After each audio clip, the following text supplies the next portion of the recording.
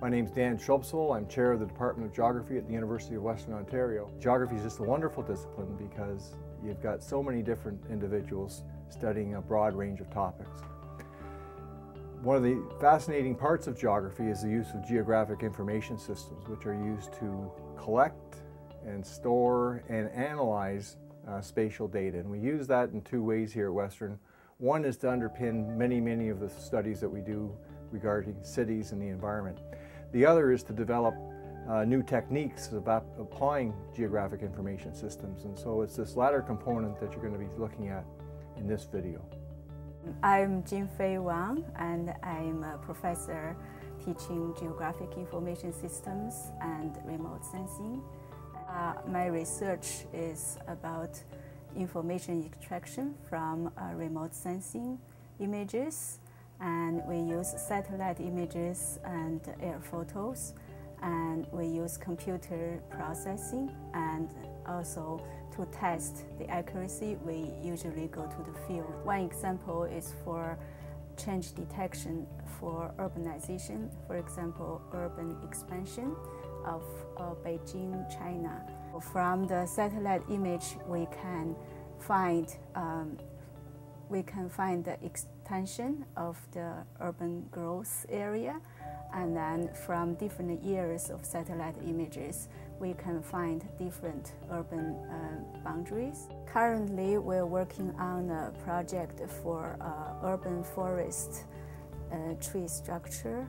Um, and uh, we have projects uh, working on using hyperspectral image and uh, high resolution data and also laser scanning LiDAR images to uh, describe tree structures like uh, tree height, uh, tree crown cover, and uh, tree crown area. Um, the graduate students are all involved in these research projects, so we work together and they also learn a lot.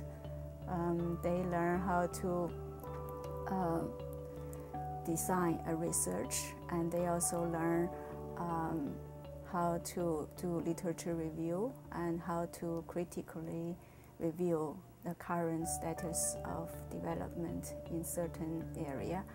And then they also learn how to uh, they learn the principles concepts of image processing and uh, they also learn computer uh, software and they all have uh, by the end, they all have very strong technical skills using computers uh, to process satellite images. Hi, I'm Micah Pazner. I'm an associate professor at the Department of Geography, and uh, I would like to introduce a few examples of what I do. In terms of my research, I tend to focus on geographic techniques, both lab and field techniques, with a special emphasis uh, on, on field techniques and also on imaging. Example I would like to give is of applications we work in. One of them is uh, in gold search and trying to apply geographic techniques to searching for gold. I've been working on that area with students since 2003, so uh, we are in, in our seventh year in that area and we have had a number of theses come out of that work. Another application area I've been working in in the last few years is uh, wildfires in uh, northern Ontario in the boreal forest.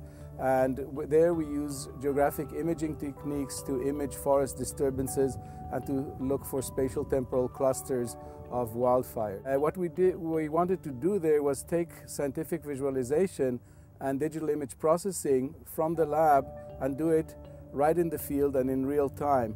In terms of the objectives, uh, the, the, wildfire research is very timely in terms of what is happening with uh, global climate change.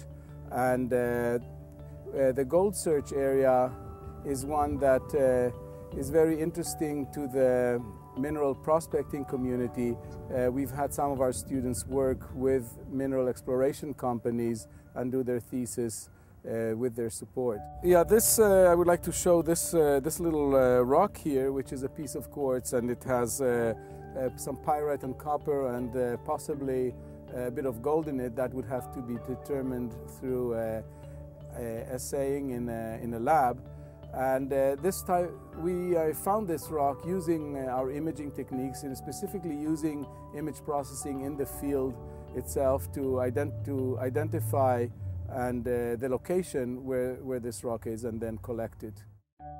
In terms of uh, grad students who want to work with me, I would like to uh, just re-emphasize that uh, I have a great affinity to working on techniques and to working in the field.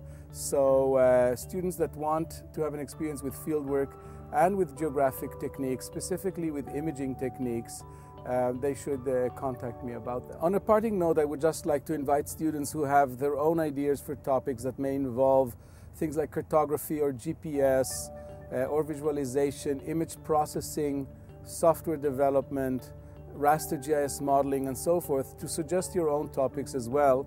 And uh, if by any chance you can secure funding and uh, from a scholarship and apply with that, it makes the chances of admitting you that much easier, in particular if you're an international student.